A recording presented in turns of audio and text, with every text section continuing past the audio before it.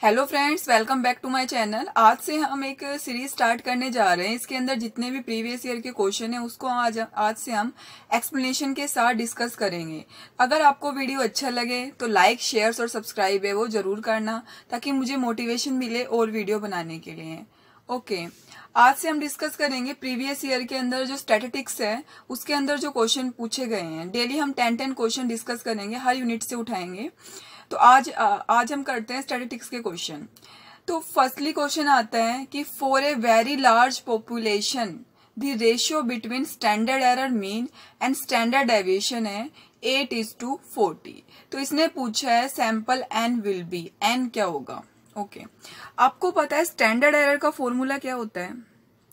Standard error का formula होता है standard deviation upon root n ये होता है स्टैंडर्ड एरर का फॉर्मूला देखो स्टैंडर्ड एरर का फॉर्मूला होता है standard deviation upon root n अब यहाँ पर आपको स्टैंडर्ड एरर गिवन है. स्टैंडर्ड एरर कितना दे रखा है? एट और स्टैंडर्ड डेविएशन कितना दे रखा है? फोर्टी इसने पूछा है एन की वैल्यू ओके okay? अब आपका रूट एन कितना आ जाएगा? आपका रूट एन कितना आ जाएगा? फोर्टी अपॉन एट कितना आ जाएगा? फाइव और एन की वैल्यू क्या हो जाएगी? एन की वैल्यू हो जाएगी ट्वेंटी फाइव है रूट है ना? तो रूट हटने के बाद इसकी वैल्यू कितनी हो जाएगी? एन इक्वल टू कितना हो जाएगा? ट्वेंटी फाइव है। ओके देखते हैं इसके ऑप्शन तो इसका आंसर क्या हो जाएगा? ट्वेंटी फाइव है। तो आपको फॉर्मूला ज़रूर याद रखना है कि क्या फॉर्मूला होगा इसका। तो याद रखना स्टैंडर्ड एरर का जो फॉर्मूला होता है, वो क्या होता है? Standard deviation upon root n इससे ये क्वेश्चन है, वो इजिली सोल्व हो जाएगा। ओके इसके बाद एक नेक्स्ट क्वेश्चन है। The arithmetic mean of ten item is fifty if each item is increase by five then new arithmetic mean would be क्या होगा? इसने पूछा है, जो दस आइटम है ना, उनका अर्थमेटिक मीन है, वो फिफ्टी है। अगर हर आइटम को फाइव से इंक्रीज कर देते हैं तो न्यू अर्थमेटिक मीन क्या होगा? तो हमने अर्थमेटिक मीन की प्रॉपर्टी पढ़ते हैं। उस प्रॉपर्टी के अंदर ये पढ़ते हैं कि अगर मान लो, हम जितने आइटम से इंक्रीज करेंगे ना अर्थमेटिक मीन उतना ही बढ़ जाएगा। अब इसने कितने से बोला है? फाइव से। तो पहले कितना था? फिफ्टी अब कितना हो जाएगा? फिफ्टी फाइव अगर मान लो इसने पूछा होता सेवन से तो कितना हो जाता आंसर फिफ्टी सेवन मतलब उतना ही इम्पैक्ट पड़ेगा जितना आप इंक्रीज कर रहे हो। ठीक है? ये अर्थमेटिक में इनकी एक प्रॉपर्टी होती है तो इसका आंसर कितना हो जाएगा? फिफ्टी फाइव है। ये क्वेश्चन भी आपका जून टू थाउज़ेंड नाइनटीन के एग्ज़ाम के अंदर आया हुआ है। नेक्स्ट क्वेश्चन पूछ रखा है which of the following are considered non parametric test है इनमें से कौन से नॉन पैरामेट्रिक टेस्ट है? तो आपने देखा होगा, जो मन वाइट ने यू टेस्ट है, ये भी नॉन पैरामेट्रिक टेस्ट है। क्रुशियल वैलिस टेस्ट है, ये भी नॉन पैरामेट्रिक टेस्ट है। काई स्क्वेयर टेस्ट है, ये भी नॉन पैरामेट्रिक टेस्ट है। लेकिन एफ़ टेस्ट और टी टेस्ट ये क्या है? पैरामेट्रिक टेस्ट है, ठीक है? तो इसका आंसर क्या हो जाएगा?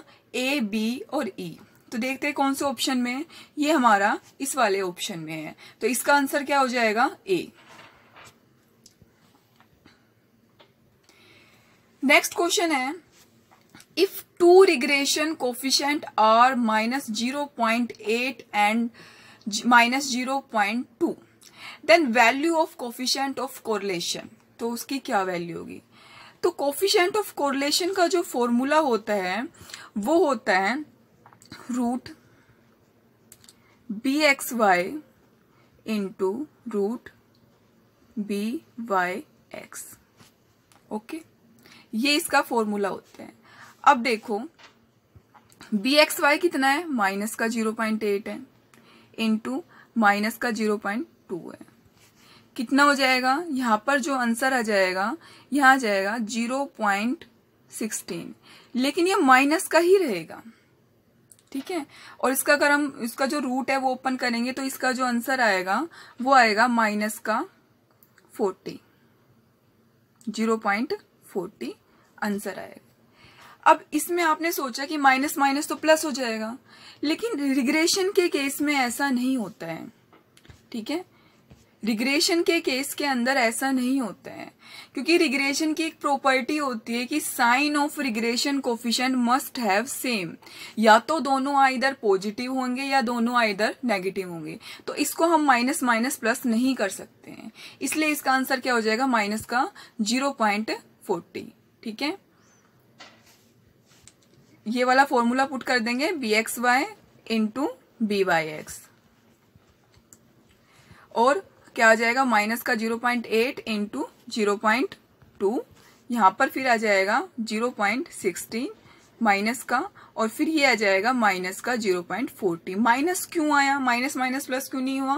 क्योंकि यहाँ पर याद रखना, जो रिग्रेशन कोफिशियंट होता है ना, उनके साइन सेम रहते हैं। या तो दोनों पॉजिटिव होंगे या दोनों नेगेटिव होंगे, ठीक है? इसके कारण यहाँ पर क्या आएगा? आंसर क्या आएगा? माइनस का ज़ीरो पॉइंट फोर्टीन उसके बाद आता है, एक graph of cumulative frequency distribution इसको हम बोलते हैं ओगिव ठीक है? क्यूमलेटिव फ्रीक्वेंसी डिस्ट्रीब्यूशन ग्राफ जो क्यूमलेटिव फ्रीक्वेंसी से जो हम दिखाते हैं ग्राफ है, उसको हम क्या बोलते हैं? ओगिव कर भी बोला जाता है। इसको ओगिव कर भी हम बोलते हैं। ठीक है? तो इसका आंसर क्या हो जाएगा? सी नेक्स्ट आता है the scale of measurement which has no order distance unique origin unique origin is known as one of the following मतलब जिसका ना तो कोई ऑर्डर है, ना कोई डिस्टेंस है, ना कोई यूनिक ओरिजिन है। तो उसको हम क्या बोलेंगे? तो उसमें हम क्या, उसको हम क्या बोलते हैं? नोमिनल स्केल है, ठीक है? आपको पता है रेशो स्केल के अंदर क्या होता है? रेशो स्केल के अंदर तो सारी कैरेक्टरिस्टिक्स होती है। इंटरवल स्केल जैसे कि हम टेम्परेचर वगैरह जो टेम्परेचर वगैरह मेजर करते हैं। ऑर्डिनल स्केल जैसे कि आप, आप ऑर्डिनल फॉर्म के अंदर या उसको जैसे क्रम क्रमानुसार आप जब कुछ आइटम्स है उनको मेजर करते हो ठीक है? तो अब ये कहना ना तो उसका ऑर्डर है ना डिस्टेंस है ना ओरिजिन है तो वो क्या होगा? वो सिंपल स्केल हो जाएगा। और सिंपल स्केल कौन सा होता है?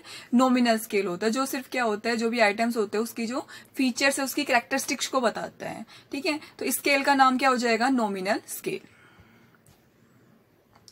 नेक्स्ट क्वेश्चन आता है कि which of the following is not a logical structure इनमें से कौन सा लॉजिकल स्ट्रक्चर नहीं है? ठीक है? तो इनमें से कौन सा लॉजिकल स्ट्रक्चर नहीं है? चैन है, वो लॉजिकल स्ट्रक्चर नहीं है। नेक्स्ट क्वेश्चन आ गया। If two regression coefficient are 0.8 and 0.2 तो what is the value of coefficient of correlation देखना। क्वेश्चन वही है, लेकिन आंसर इसका डिफर आएगा। क्यों? यहाँ पर माइनस का निशान नहीं अब देखो रिग्रेशन कोफिशियंट है। ये दोनों प्लस के अंदर है। तो आंसर भी किसमें आना चाहिए? प्लस में आना चाहिए। तो यानी आपके जो माइनस वाले ऑप्शन है, वो तो वैसे ही नेग्लेक्ट हो गए।